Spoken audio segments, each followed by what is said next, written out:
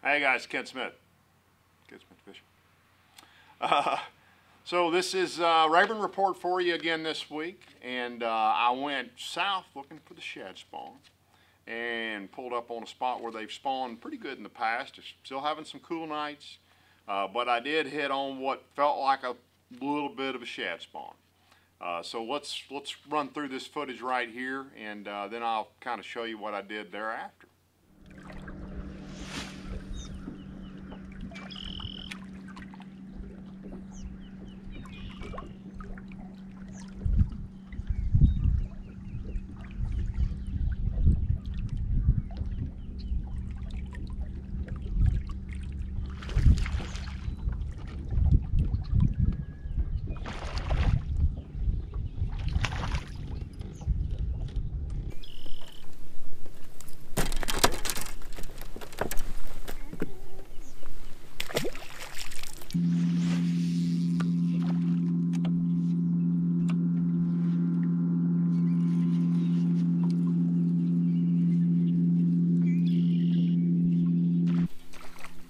Well, I'm out here again looking for the shad spawn this morning. And uh, don't think I found it. There's just no shad activity. I'm back down lake again. Uh, nice solid fish. These cool nights just keep messing it up.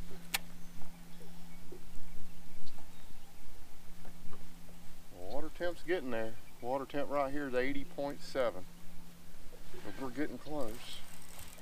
Yeah, there may be a little shad spawn going on right there. So, maybe, maybe. Little.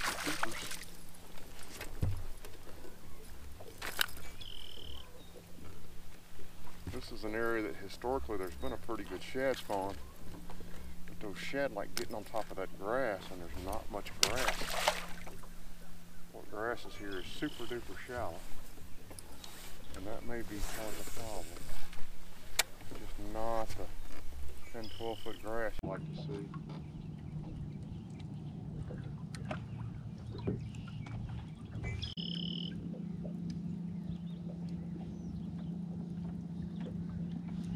Ooh, whack 'em.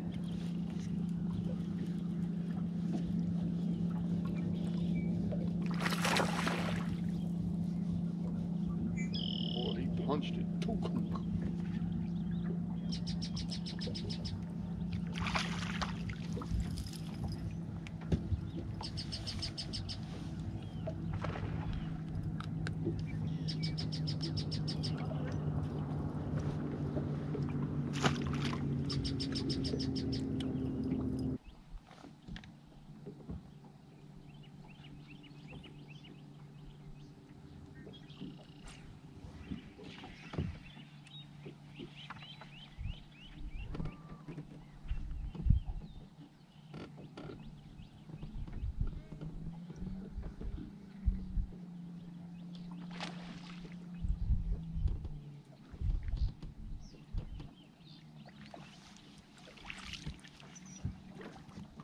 Oh, double hook.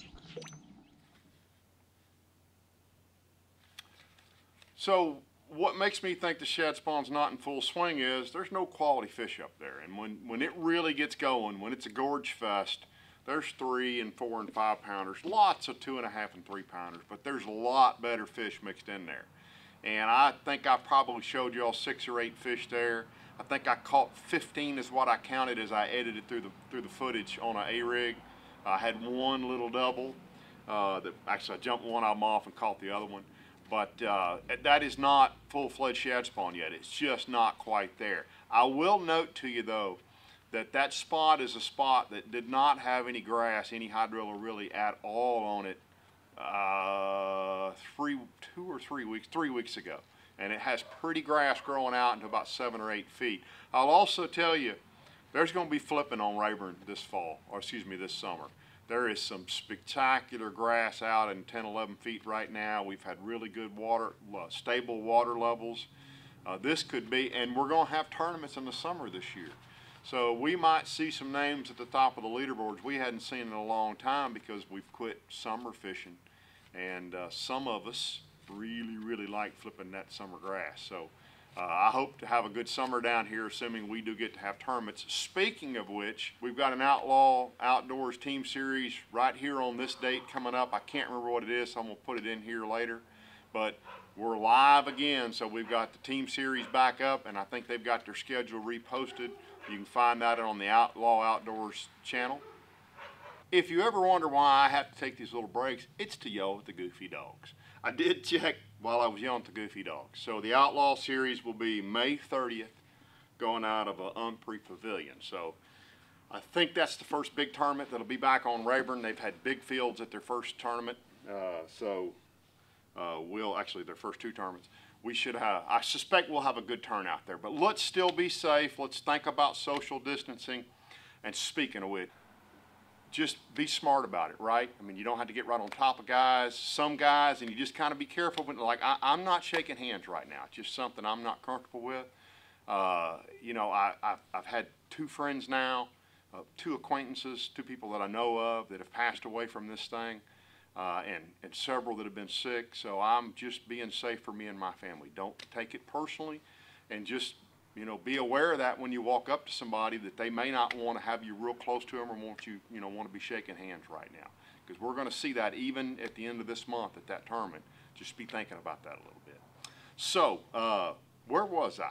So, I, as I said, I was looking for that shad spawn, didn't see it, uh, and then I just, uh, the hay grass was right there. I thought, well, let's see if there's bait fish in the hay grass. I picked up my Divine swim jig, which, by the way, you could still get that swim jig on a deal on the uh, Rayburn Spring Box on 6th Sense website. I'll put a link below. It's about a $40 deal, and you get 45 or $47 worth of stuff, which includes swim jigs and the, the big swim bait as well, uh, or a swim bait. Um, and I, I, pushed up to the edge of the hay grass, picked it up. I spooked bait on one of my first or second casts, and I thought if there's bait in here, there's fish in here, and this happened.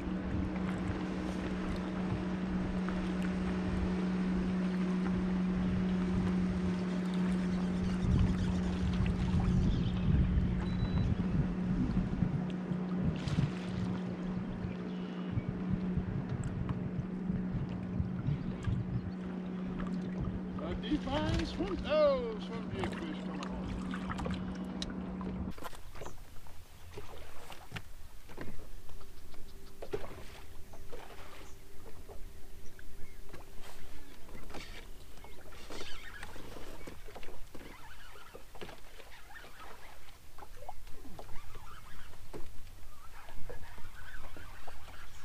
he's coming in with a load. There we go. There's a mama. Ooh.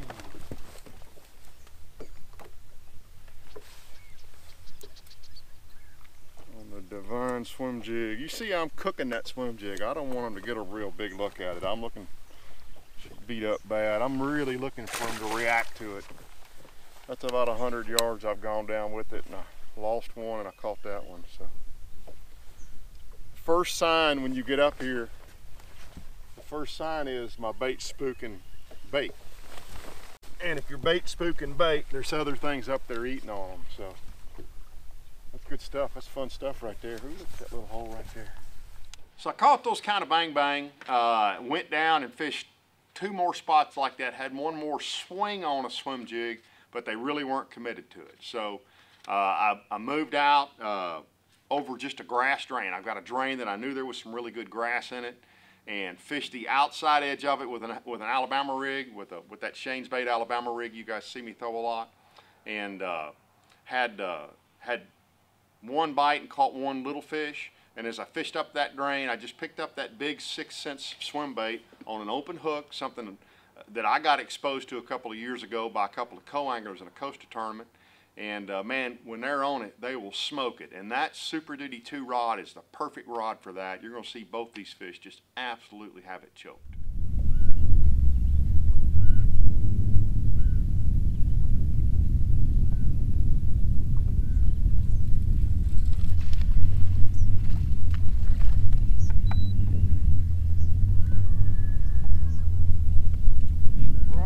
top of that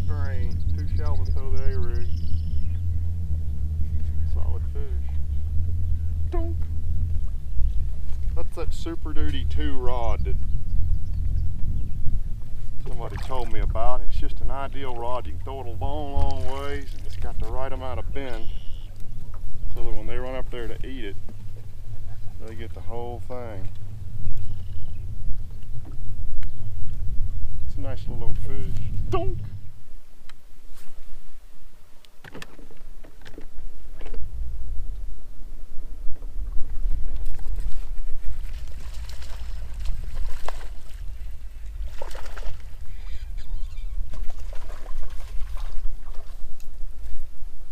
like a lot of guys, I don't pull to the left so good. But once again, just that rod just got that right action to let them really get it. And then it's got, it's so long, you can get a really good pull on him, even though he's a super little guy. But I'm still not catching any quality fish. So I had just a little bit of time left to fish. So I went out and got on a, it, it's really main lake, but most people would call it a secondary point. And I just started out deep, started working my way shallow, and here's what happened.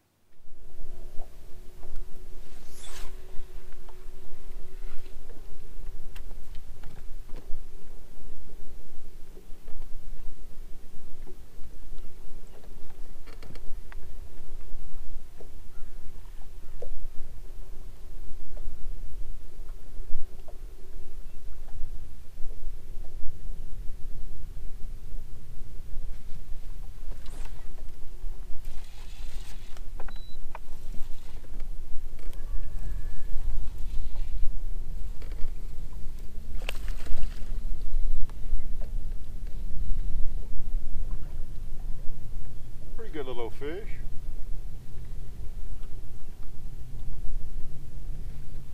Just working my way up a point. I started out there in about 20 feet of water and I'm up to 11. Just coming up the point. I've got that little tiny hook on there, so I'm not going to pull on this fish very hard. It looked like when it jumped it was about a four pounder, but still heavier than that. Nope, it's not. Nice bite though drilled that baby brush hog. Dunk. Boy, he is plowing down. Fish thinks he's way bigger than he is. Goodness. Don't want to bend that little hook out. The only downside to that little bitty hook, when they're stuck, they're stuck. Bend them out. Fish. Oh, come here, puppy dog, open up. There we go.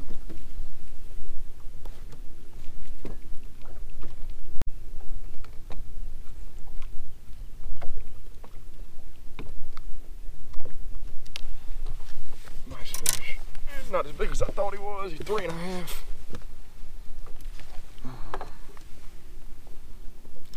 Big as I thought he was.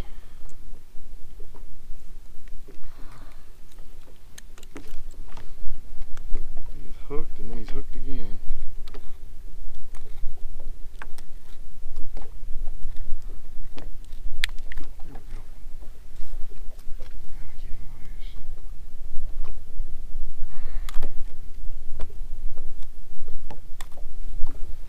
Nice fat chunk.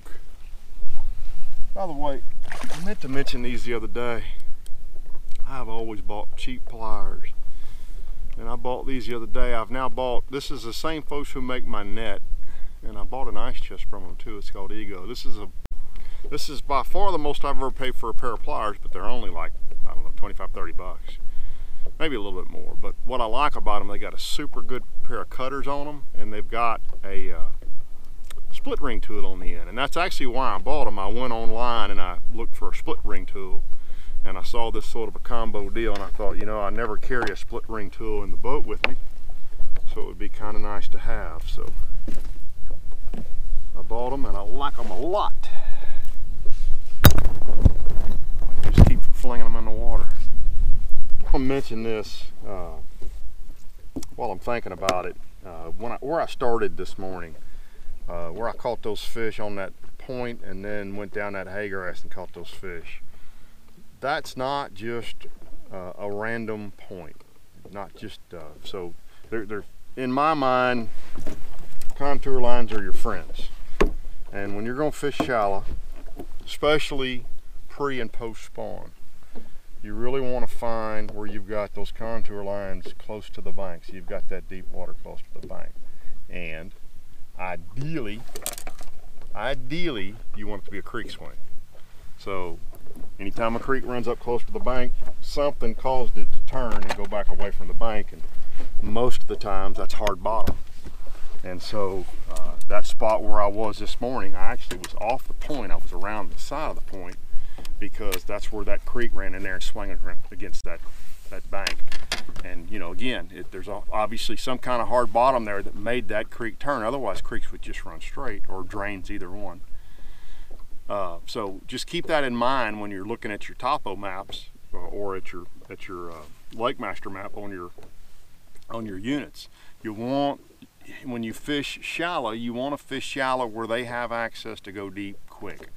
And it's not that they're going to run out there, that's just where they're going, right? It's a hallway. They come out of that deep stuff up to that shallow stuff to feed and right back out to that deep stuff. So just keep that in mind. Look for those, and ideally it's a creek swing. You'd be amazed, most of the big stringers that get caught get caught off some kind of a creek swing uh, down here, whether it's in six feet of water or in 36 feet of water. So just uh, keep that in mind when you're looking for those shallow fish to not just pull up on any random point. Spend a little bit of time looking at your map and figuring out where it's going to be the best place. You know, I would pick out six or eight places if you don't know a lake and go mark them all on your map so that when you fish three and you don't get bit, you got three more to go try. So there you go, guys.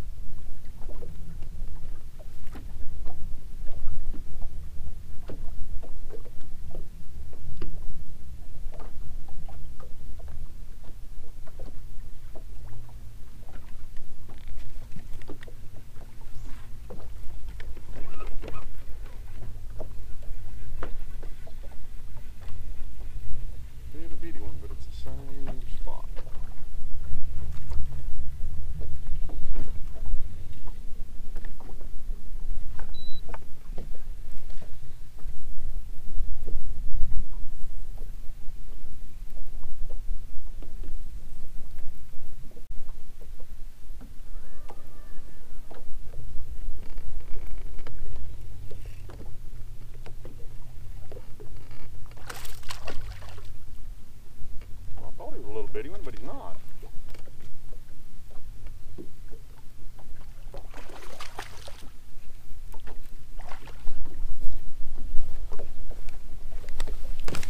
Another chunk, same, basically the same spot. I fished across it and turned around came back and went the other direction.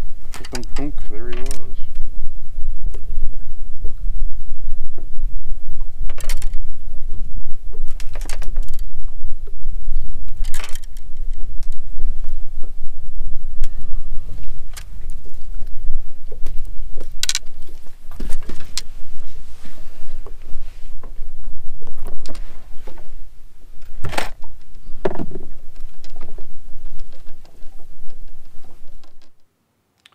So I caught those two fish. Uh, that was the only two bites I had out there, and I kind of ran out of time.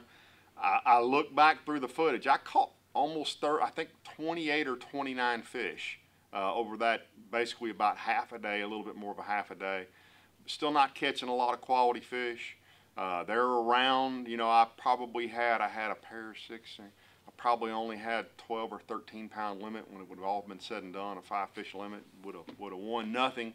But I uh, had a good time, had fun, and I got to start practicing a little bit differently now that we got tournaments coming up. I can't just go out and fun fish and catch a bunch of fish. So you'll see me adjusting my fishing over the next couple of weeks, moving deeper, trying, well, I'll still keep checking to see if there's any frogfish, but uh, moving out deeper, trying to catch those better fish and trying to find schools of fish as opposed to those one and two off fish. So uh, that's my report for you guys this week. I appreciate you tuning in. We'll be back on the water later this week. We'll get some more footage up for you guys. If you don't subscribe, please do. If you do, thanks so much. Click the bell. You'll get notifications every time I post a new video. And don't forget to check out my off-topic videos as well that I do uh, pretty much weekly. So thanks for tuning in, guys. We'll see y'all on the water real soon.